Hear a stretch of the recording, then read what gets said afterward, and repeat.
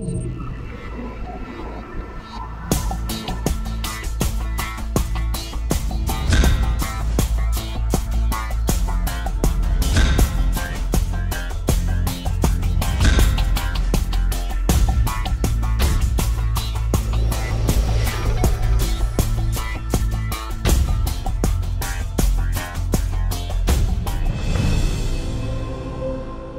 би погледнала наназад, веројатно сум поцврста во своите ставови, појасна е визијата за себе, принципите се веќе устав, а мотивите и глата по успех е на константен висок напон.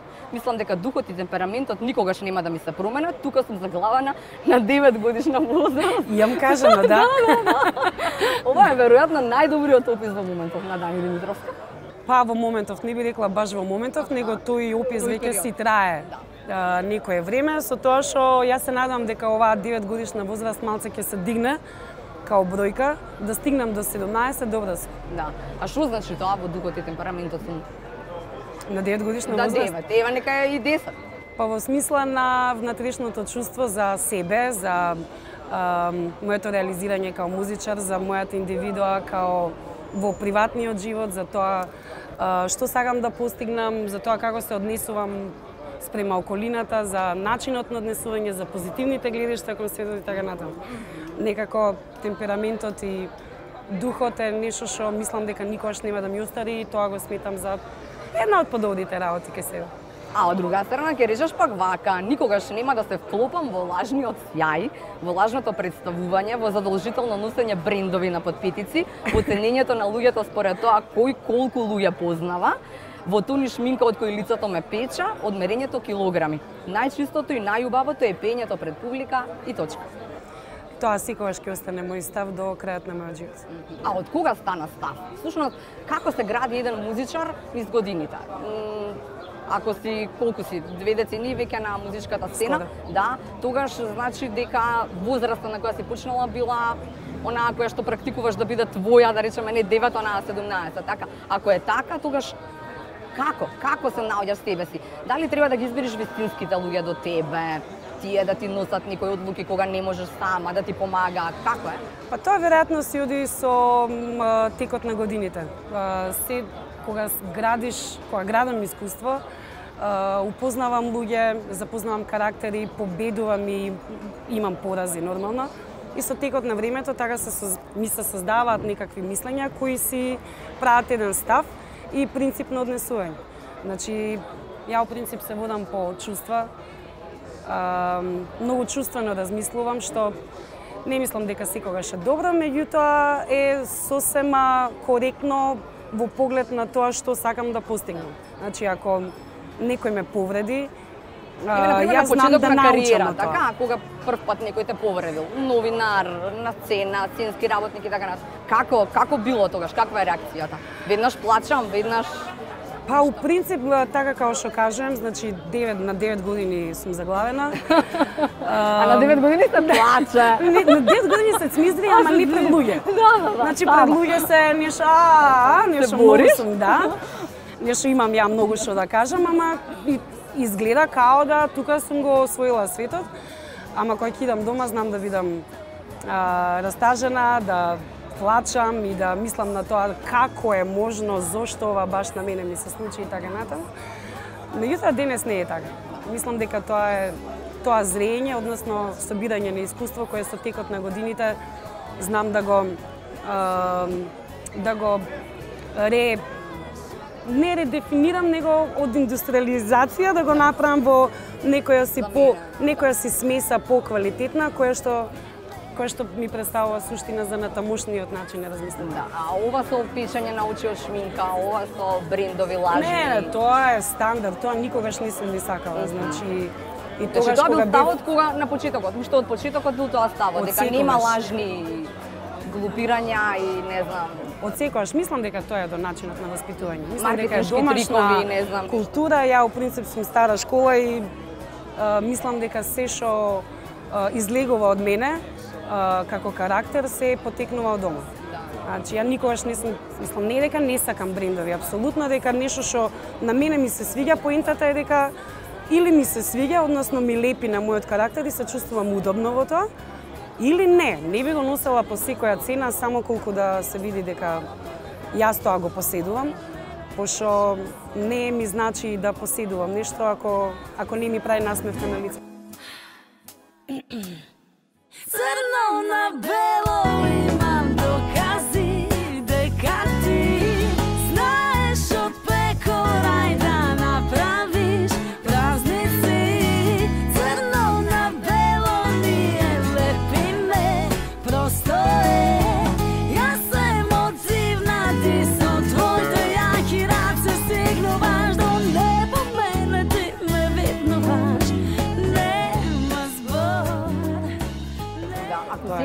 видиш првиот свој настап, што ќе речеш? Катастрофа. Тешка катастрофа. Која си ти лепотица? така би си кажала. Абе, кад си ти? Ма која си ти? Што е работа со тебе? Тоа би си рекла сигурно. А како тргна се? Како беше? Чија песна беше? Појма немам, тоа си дојде спонтано, никако првата песна беше на Макфест, а, во времето кога музички продуцент беше Валентино Скендеровски и у тоа време Макфест беше една од не една, него Местата каде што можеше единствен да престижен фестивал каде што се промовираше македонска музика. Не е како денес. И тоа беше гледано и медиумски пратено и сите новинари беа, тоа беше настана, настан на годината. Случајно ми се јави Вал... случајно. Не е случајно, Валентино Скендеровски да, ми а, се јави. а, а, ти што правеше во тој период? Веќе почнуваше со кариера, веќе пееше некаде, веќе Не, можеше... предходно имав еден обид за песна со Копров на Охридски трубадури, у тоа време страшно е. А тоа па Кај ме врати назад. Не ќам ни да знам, на тоа не се ни сеќавам. Ни како сум била обличена, ни што сум зрачала, ни што сум сакала да испеам апсолутно ништо. И веројатно од тој настап Валентино ме Видел видел. некаква енергија, Да, ми се јави и отидовме, снимивме нај наивно, у свет излезе дека тоа тоа ден денес е едно од хитовите што што Макфест ги извади во последните 20 години. Та, така тргна Те се. подготви за настап, имаше трема, што беше како Еј, у тоа време немаше такви Немаше? Да. зезанци. Да. Значи се облекувавме сами, Да. се шминкавме сами. Имаше еден уствари шминкер кој беше Таму за задолжен за Добро, за сите. Е, време ли е време? Овај, и не се не се замарав во тоа време баш за ништо. Баш што беше плейбек, пошто и тоа беше стрес. Чекај сега уживо за прв пат, па како тоа ќе изгледа. Па добро што било плейбек. Па да, у тоа време да. А сега од оваа инстанца не едам на плейбек. Да, не ми е филм. И кој беше во публика, кој те гледаше? Мислиш од некој мој блиски? Да, да. А, у тоа време па и немав баш некој. Некој таму немаше во Не бе, сам, сама си бев со со таа екипата, имав некои плесачици позади, така со нив, со кола. Тинеџерски бе? 9 години.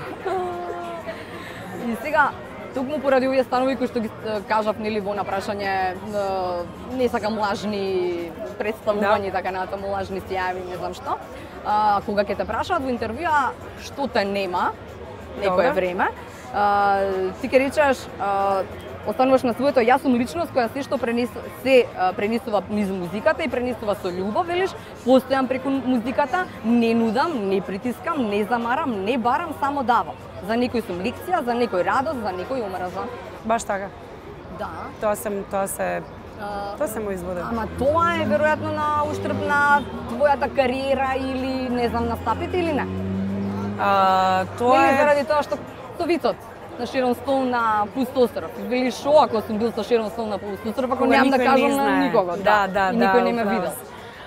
Па, не знам, веројатно тоа е мојот начин на функционирање со со Не годиништа можеш да не можеш да направиш компромис во тоа. Не можам. Да. До душа Значи, никогаш можеш- не сум се ни Не можеш потрудила. да речеш еве сега пишувајте за мене што да е, дека сум станала тогаш, дека вака колку само да ме има, за Никогаш. да не, а? Никогаш во животот, никогаш и дури и оној пат кога сум кога сум гледала како другите функционираат и како тоа им успева, сум се запрашувала зошто не можам и јас Ја. ова да го направам. Ама втората сцена е, се гледам во огледало и викам, Не може. ова си ти. Да. И тука ставам точка. Значи или ќе ме тој што ме сака, макар тоа биле 10 луѓе од целава земја, знам дека ме сакаат поради тоа што сум јас. Да. Не можам, не можам да живеам поинаку, не можам да живеам у невистина за Да, за за себе себе постоење. Да.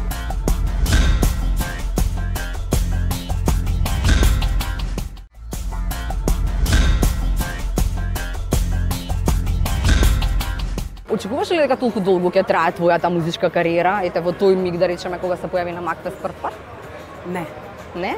Не очекував. Немаше тогаш некои детски сонови што како Не, не, не, тоа Не, излезе сосема, сосем. сосема спонтано. Ја од секогаш имав љубовта кон музиката, меѓутоа никогаш немав визија за себе дека ја ќе ќе правам албуми, дека ќе снимам спотови, дека а, да видам како е на Макта. најголема вредност ќе ми биде македонската музика, дека ќе имам потреба од тоа да има прогрес и да ние функционираме како музичка култура во земјава никогаш. Се се случи спонтано и мислам дека кога би се вратила наназад би направила концепт за разлика од тогаш функционирав uh, go with the flow. Значи како ќе дувне ветерот, така и кај ќе ме така функционирам и ме водеше волјата, потребата, желбата од себе реализирање и така натаму. Меѓутоа да имав некаков си план, може би може би денес би имала некој по-чист правец. Сега во моментот функционирам како а, човек музичар, а, реализиран со а, без а, конечна потреба за се уште реализирање и се уште немам планови, се уште функционирам така и колку е тоа добро или лошо, не знам, само знам дека живеам низ тоа. Градот ни се смени сосата ни плача за љубов и мир И стално друг ни е крив. О, нема никој друг, не никој друг. Нема никој друг, не никој друг. Нема никој друг, нема, нема друг. Нема две е. Нема никој друг, не никој друг. Нема никој друг, не никој друг. Нема никој друг, нема, нема друг. Мораш да признаеш дека сепак си имала среќа некада, заради тоа што да се сретне Весна Малинова во тој период кога нели кога не знаеш што правиш или кога Да. почнуваш а не знаеш каде ќе тера тоа и веројатно среќа. Um, јас сум многу благодарна у тоа време на Пиро Камиказа, кој беше тогаш уметнички на Скопски фестивал. Он не спои мене и Малинова, значи само ни даде телефон и мислам дека вие две Може да може функционира. да се најдете, видете се и направите си муавет. Од тој момент па до сега, тоа се поминати 18 години, ние сме не само соработници, него јас сум стара сватица на свадба, функционираме како како потесно семејство и пресрекна сум ради тоа. Да, мислам дека тоа е среќа. Е, имаше ли некоја, не, не знам, си рекла дека соработката со Весна, нели? Е, Весна е мојот човек, велиш продуцент, композитор, секоја низина песна е откинато парче од моето секојдневие, дел од помината реална љубовна приказна, дел од мојот живот. Таа знае се, таа знае најдобро. Да, Да? апсолутно да. да. А колку има тоа муабет за тоа каде, што, како треба или само раскажување, а потоа таа стиднува и испакува се? Па, порано кога бевме да речам малце помлади, функционирам. малце повише помлади. Добро. А, кога мислевме дека знаеме се, а бевме незвели, функциониравме како две другарки што имаат потреба да си раскажат како се поминале вчера у град, што се случило, кој пристапил, кој шо кажал и така натаму и тогаш решававме усход. Е, ја кажи му вака, а, премисли му вака, значи сега вака има да му пишеш. Ама денес е тоа малце на, на повисоко ниво. Сега само имаме љубов една за друга и а, секое споделување е со потреба за разбирање и поддршка и толку. Колку често знае да ти се случи она што си го изјавила во едно интервју дека супер е, а, тамо било нова година, па велиш супер е кога ќе ми пушти слика и она е на гитара, рано наутро, двете во пижами и она свири песна, ја урлам од возбуда, тоа е тоа и Да, тоа е у тоа време што ти го раскажував сега, кога бевме млади и зелени. Меѓутоа, таа возбуда и ден денес е и ден денес е истото чувство, значи не е со намален интензитет, меѓутоа е малце поинакво е доживувањето. или доживувањето, По, да. Посозряно, тоа тоа е правиот збор. Ако порано сме правеле, а, не сте нормална, што направи? Денес е а, ти си љубов, човече, кој дај таа мајка ти број да и се јавам да и кажам каква ќерка има и такви некои зезанци, али да, тоа е. Постои ли некоја песна на која што е напишала Весна за Дани и која што мислиш дека е на вистина нешто што е да речеме за тебе нешто што било голема отскочна даска во однос на твојата кариера генерално? А, тоа е многу различно. Луѓето тоа што го примат, а, јас секогаш сум имала спротивно мислење. А, ако гледам од од страна на публиката, таа песна што они најмногу ја доживуваат, до душа се повеќе. Тоа не живеам за другите, што до тогаш Црвени две. дождови после тебе. А, да. Меѓутоа за мене ако, ако Мене ме прашаш? мене ме прашаш, тоа е можеш. Можеш да ми земеш се Ако посакаш Да ме расплачеш Се до бол Можеш. Песна да можеш 2008 година испеана на Макфест, што тогаш не доби на никаков си фидбек во тоа време, меѓутоа денес после толку години дури сега луѓето почнуваат да ја чувствуваат. Веројатно се се у свое време. Да. А, кога се создава нешто, велиш добро е и мора никаде да се запре. Значи кога треба да, Да. се стави точка, треба да запре за да се сеќаваме сите на процесот кога сме го создавале. Така. Иначе ако им речеш на музичарите кога е доста, тие можат и 9 години една песна и еден албум да прават и се нешто ќе недостасува. Ај Да. можеме сега и ова да го направиме вака и онака, Да. ама енергијата ќе ја заборавиме веќе. Апсолутно, тоа е ам, тоа е многу битен процес кога се создава албум. За мене е едно од нај нај најубавите периоди. А, иако си има свои тегоби.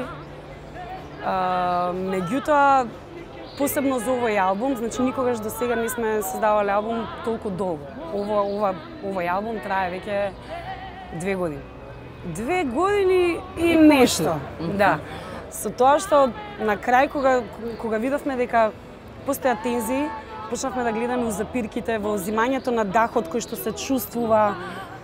Тогаш Киро Бабамов, аранжер на и продуцент на целиот албум и сопруг на Малинова, ага ни напрени ни ги затвори устите ни кажа мора да се стави точка.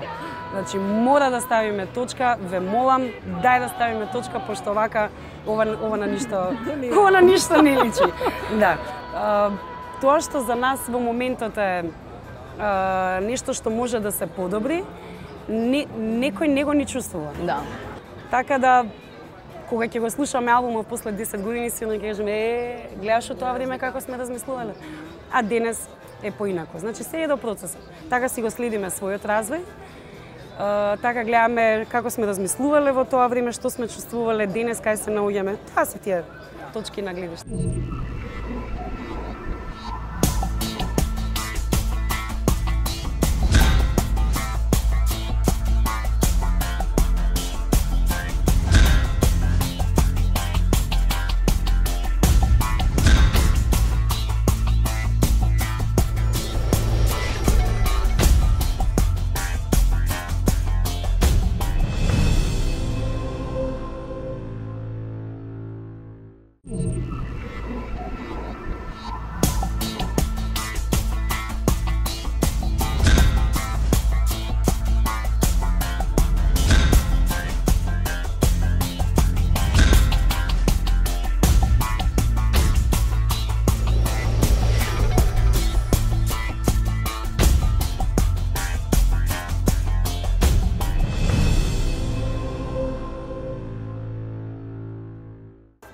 Публиката ја и- избегнав, мислам не ја избегнавме, не кажавме голем дел за неа, значи велиш најважното и највредното е таа и тука е уште една точка.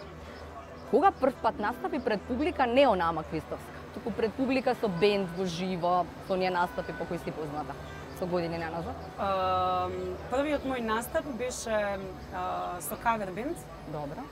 Uh, тогаш се уште немав Свој бенд. немав своја авторска музика. А, тоа беше во тоа време, човече, студио, пап. О, Ако о, се сеќаваш да, да, да, да, да. тој мене Да, мало. да. А, така, исто, кој знае дали е случајно или не, али пак беше спонтано. А, тоа беше првиот мој настап и тогаш сватив дека мислам дека јас тука можам ова да го Право. да го изреализирам. Да.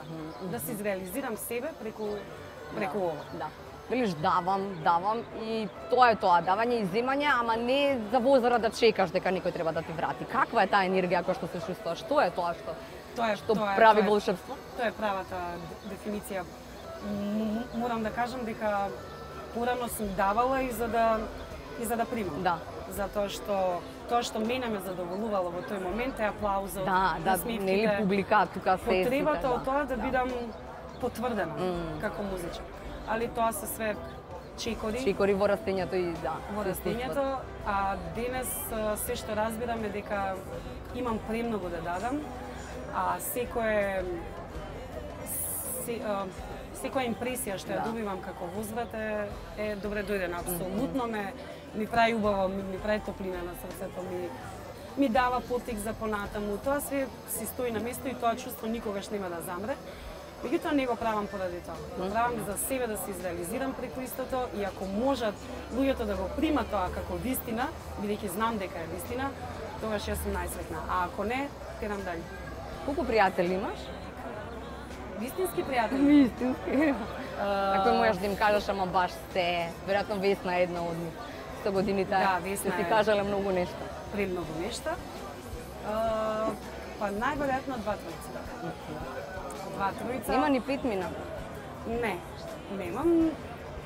Добра, ама сите ние сме доживеале некој разочарување во, во Па тоа е, сакав да, сепак и тоа се врски. да прашам колку тоа нели кога си јавна личност предизвикува и да луѓето сакаат да бидат со тебе, ама не вистински. Нели ти даваш и нели не очекуваш при тоа ништо за возраст, веројатно во таа другарска врска, ама некаде на крајот гледаш дека си само изигран и ништо повеќе. Знаеш, на крајот од денот ни еден од нас не е мајка Тереза. Никој не се роди лучен, никој не е безгрешен. Uh, сигурно јас сум грешила, ама сум учела низ истото. Поентата е што денес, за разлика од тогаш, имам свесност за истото, значи точно денес сум свесна што правам, И дека не треба да повредувам за да не ме повредат. одговорност, да, имам одговорност, ведувам во а, кармодарнички действија и денес функционирам по тој пат, што не имало случај кога. Да. Лазар и неговото растање, созревавте веројатно заедно, Да. ама мене ме интересира каков е тој другарски однос со еден млад дечко веќе, така? Прекрасен. Прекрасен? Мислам дека Нели никогаш сите ние што сме родители, јас немам толку големо дете, но нели 9 години е мојата и никогаш не сум сигурна дека е тоа вистинското или дека сега сум најдобриот родител на овој свет. Дали е тоа Ам, чувство на сите нас? мислам дека да. Со тоа што веројатно статусот мајка а, кај секоја една жена а, додава некој зачин што се вика суета. Мислам дека сите мајки на светов се помалце суетни, имаат потреба на децата да им И помогна да ги подбутна. али да им дадат нешто што они мислат дека тоа е најправилно за своето дете. И јас го јас го имав истото чувство до моментот до днес сватив дека тоа е сосема погрешно.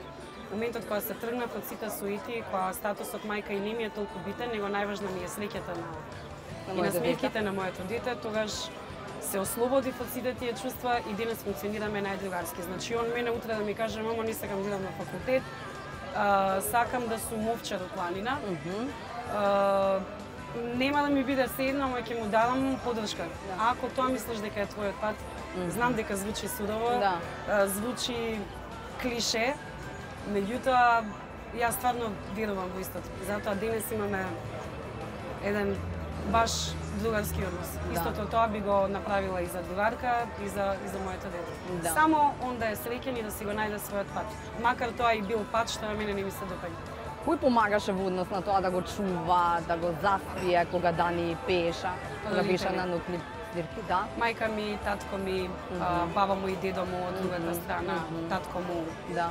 сите оние најблиски што што се што Значи, се грижат. таа поддршка веројатно ништо од ова Не, да биде остварливо, така? мислам дека нема шанс. Да. Не ни сакам да размислувам што би било кога би било, имав среќа да сите луѓе што ме сакаат мене и син ми се апсолутно безрезервно пожртвувани за за истото. Да. А, колку, колку се смени во однос на се во овие години? Овие скоро 20 години. Велиш ти когаш треба да се менуваме, треба да целиме кон нешто подобро, нели нормално, ама колку се смени реално? Колку сега ти се многу поневажни некои работи што порано биле провокација за да и најважни.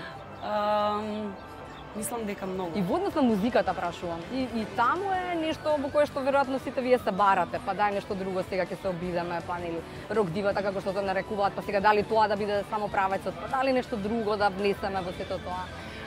Па хип-хоп, дај нешто заедно тука и ова и она. Да, од, од музички аспект, никогаш не сум сакала да теоретизирам како музиколог и да одредувам правци за тоа во кај, кај Каде треба да се движам или да. Да.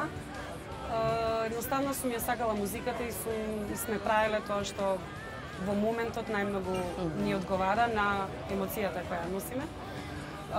Меѓутоа има разлика. Кога прислушам првата песна, па после 5 години некоја песна, па после 10 години една песна има голема разлика. Во во- доживувањето, собствено, во што? Во, и во собственото доживување, во начинот на пеење, во тоа какви инструменти сме користеле, каков аранжман имало тогаш, Каков има сега. сега. И јас сум пресрекна со истото. Можам да најдам милион грешки и во денешните песни и во тие порано, ама ама ама тоа тоа сум јас. Нема нема трето, нема Да. две, има едно. Да, нема две, да. А, кажи ми, не сакаш да те нарекуваат популарна звезда, велиш звезди се тамо некаде и сите знаеме звезди се само на небо.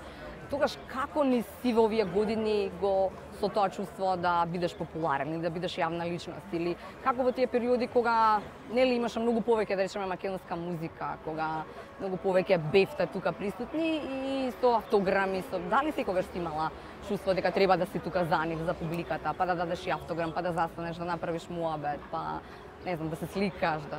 Да, подавно тоа ми било огромна вредност. Сега? А, да ги задоволам сите.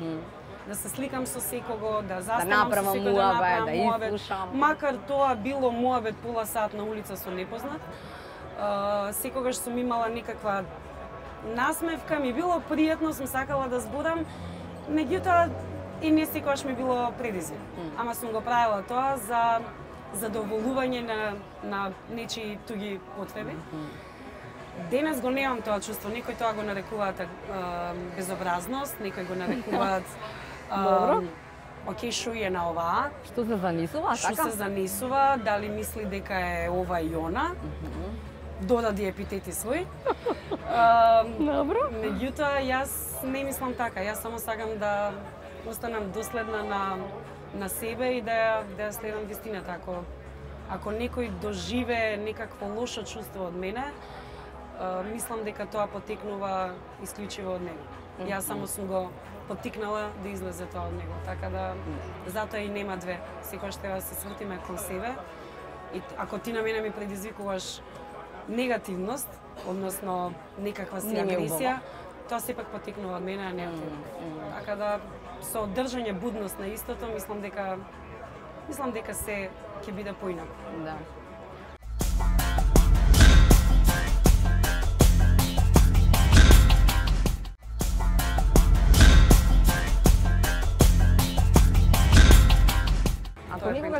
Време, барам многу за забава со другарките, така? Да. Забавата била во кафичи и заедно со Лазар и неговото а, нели растење, сега веќе па можеш, така? Многу си имам време. да Значи, си сите што со зборат дека немаат време за ништо, не е така. Да не речам лажат. Мгм, дека секогаш може да се најде време. Се има време. Да. Секогаш Ма мене ме интересира нови момент што си го кажала дека со две чаши вино, велиш, особено на родендени, си се решава. Сите љубовни дилеми се решава. Па и не само љубовни. така и не само љубовни. политички, И се, се, се. економски, Да, да, да. фамилиарни, како, какви да се. Па да, ја ем, социјален човек сум, близнак сум у хороскоп. Ја не можам да функционирам Без луѓе. самостојно. Имам потреба секогаш од комуникацијски циклуси и такви средби, посебно со со жени, со другарки, мене ми се мене ми се брвот. Ние се гледаме така чисто, ама кога ќе се видиме тоа е квалитетно. Што им Знае викаш да како се решава, како се решава проблемот љубовен? Ќе му кажеш Значи, така. а, затвори го телефонот, написе, Добро. дај таа Уживај. и уживај. И сите проблеми се решени. Знам дека тоа е моментално, ама во тој момент чувството на среќа е Да. бесконечно. Да. Заљубена сте, Дани? Сум. Да? Да. никогаш не си имала проблем во однос на љубовта, во однос на тоа да има некој кој што е до тебе и да нели да ти биде убаво, веројатно заедно со музика, заедно со те што создаваш. Тоа е до човекот, тоа е до моментот на избор, моментот на што знам, сакам, знам што сакам. Сите сме создадени од љубов. Не постои човек што нема потреба да даде и да прими. И тоа е неприкосновена вистина. Па така и јас. Значи, јас имам, имам потреба да споделам со некого а, и да бидам во некаква си конекција, партнерска. Така да Размислуваш повторно за брак, за такви? Не. не, не, Не. не, не, не. не, не, не, не, не. I've been there. Видов. видов, знам дека може би беше во погрешно време, меѓутоа не не размислувам на на такви чекори. Тоа е не. Не, точка. Добро. Долго ми е вака. што во времето за себе, освен љубов, освен Лазар, освен... Што правиш? Другарки. Да. Па што правам? сакаш да патуваш и во освен она што работата и со тоа што или си амбасадор на добрата волја, па веројатно тоа ти дава можност да отпатуваш на места на кои што не си била на дел од нив, како ќе речеш и самата, не е баш пријатно да видиш, затоа Да. што има таму работи кои што Па јас подобро да не ги човек знаеш. што стоењето у место му прави Го прави нервозан? непријатност. Иако понекогаш знам да застанам и да останам на истото место некое време, ама тоа не трае долго. А, да, сакам да патувам и многу често знам да отпатувам. А, сакам да патувам, сакам да се дружам посветена сум на не знам, на себе. На себе. А, порано не сум имала потреба од мир, као внатрешен мир. Сега знам да прочитам некоја добра книга, имам преубава тераса со поглед на цело Скопје. Жива. А, уживам со цвекичка, со винце, со, со книга. Тоа некој да ми го кажеше пред 15 години, дека јас врска ќе го правам и кажа, ај, Ај важи. Ај, добро. Ај, живи били па видели. Ама, да, знам, знам и тоа да го направам. Знам да изгледам многу филмови. Филмови ми се исто пасија. Тоа е тоа, али у принцип шетањето, запознавањето нови култури Да. ми е ми е врвот. Јас не, не ти требам ни за лек Мгм. На сон ти ми го кинеш срцето И знам, не си мој, не си мој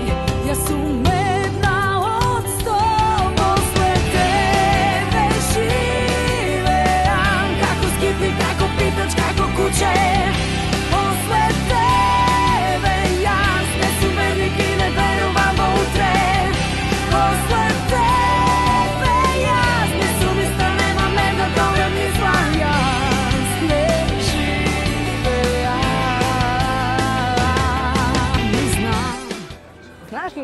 своите колеги, помлади и повозрастни да им кажеш она што не ти се допаѓа кај нив? Ам, Или не се баш отворени освен- сите за Освен ако праша? ако побарат, тогаш давам. Меѓутоа, не секогаш се опуштам во такви некои паметувања, затоа што... Суета е во прашање секогаш, тоа Па не, едноставно нема потреба да дадеш некому нешто што не побарува од тебе. Да. Значи се што е така дадено е присилно. И не секогаш ќе се свати добра намера. Не ни знам дали е тоа добра намера, Да. само знам дека не е правилно.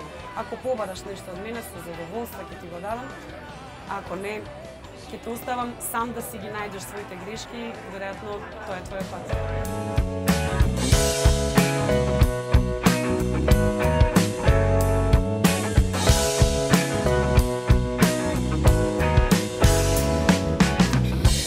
Совршено добро е вака, знам што сакам.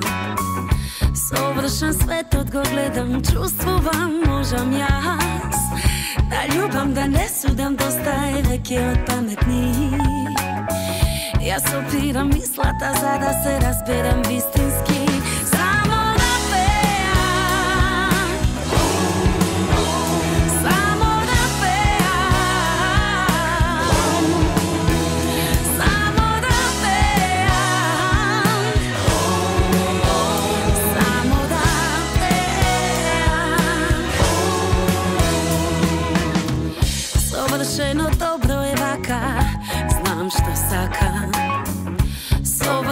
Светот го гледам Кога не бегам И за крај, убаво е да се биде во кужата на Дани Димитров?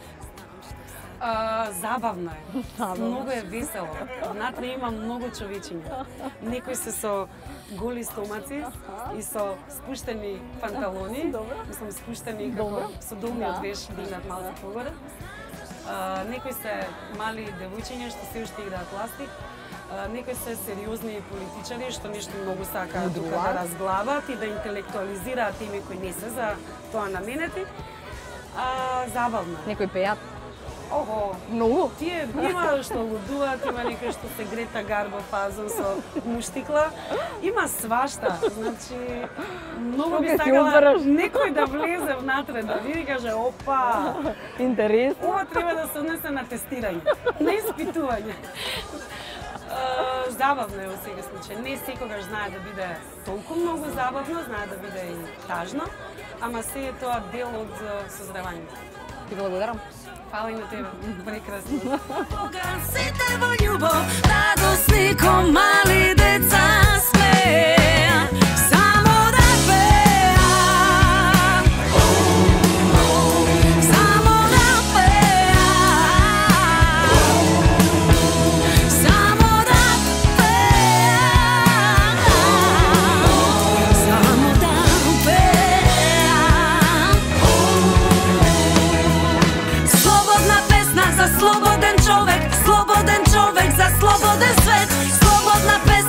слободен човек, слободен човек за слободен свет. Слободна песна за слободен човек, слободен човек за слободен